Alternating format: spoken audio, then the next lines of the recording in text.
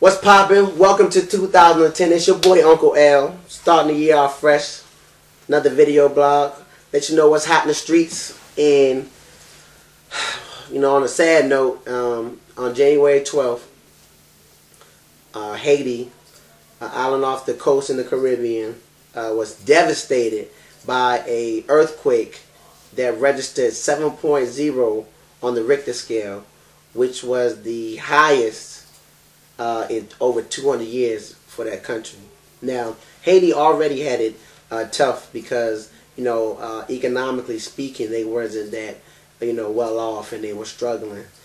But for something, for a, you know, catastrophic event to take place like that, they're pretty much crippled, crippled them. Um, people, uh, you know, they've been reaching out to other countries uh, to, you know, seek help.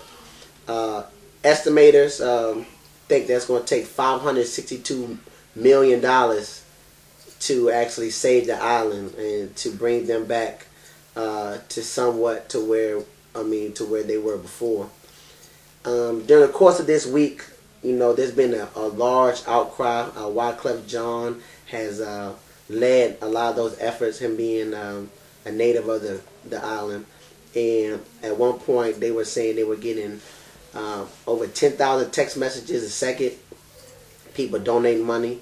As of Wednesday, uh, January 13th, there were uh, $10 million sent, uh, which really shows the heart of people and shows that, you know, people are really, you know, shocked by this event and, and wanting to help now, um, three million people uh, were affected and displaced in this, um, you know, in this event. It happened in Port-au-Prince, which is the capital of Haiti.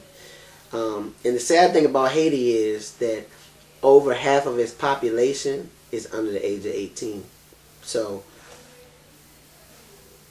the fact that you know to rebuild the efforts they're going to have to get help from the outside because you know when half of your population is 18, you know most people can't they can't take care of themselves for their children, and it, it just it, it's a sad thing. But a lot of people have reached out. The New York Yankees uh, donated five hundred thousand um, dollars. Madonna uh, gave two hundred fifty thousand dollars herself, and uh, allegedly. Um, the uh, dummy of 2009, uh, Tiger Woods, um, was supposed to a donate a mobile plane, which is really important because um, as of earlier this week, they were really needing doctors because uh, eight of their hospitals, um, eight of their hospitals were either destroyed or or severely hit. So they don't have a lot of um, places for the doctors to help the people. Um, and as far as you know, getting help there is, is hard because when they do send uh, food, supplies, water, you know, the looters get there and it just, I mean, you know, people when they need to survive, it's almost animalistic. You know, it's like the end of the world type thing where, uh, you know, people do what it takes to, to do what they got to do. Um, it just, you know, China donated a million dollars, um, I guess, which is good, but you know, when you think about all the rice and stuff they make in China, you think they can give more than that. It's kind of childish to me, but you know they are trying. Obama pledged to give a hundred million dollars to um, Haiti, which is which is excellent, and we we definitely don't want um, what happened in New Orleans uh, to happen again. And you know this is foreign soil opposed to it being American soil like it was in New Orleans, but a different administration and Obama was, you know, immediate in in in definitely supporting that effort because you have to learn from your past mistakes.